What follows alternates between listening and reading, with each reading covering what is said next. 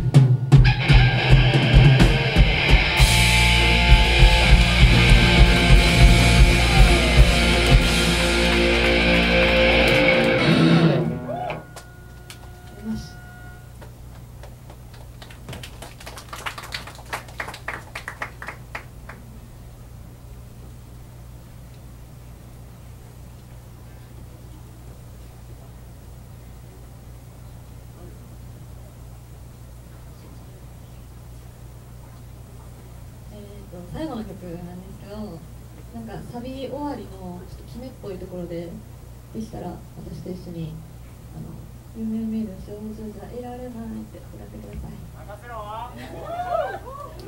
この曲知ってる人はね大きい声でじゃあちょっと自信ないなって人はちっちゃい声で歌ってください。じゃあ最後の曲やります。お願いします。大会の話でした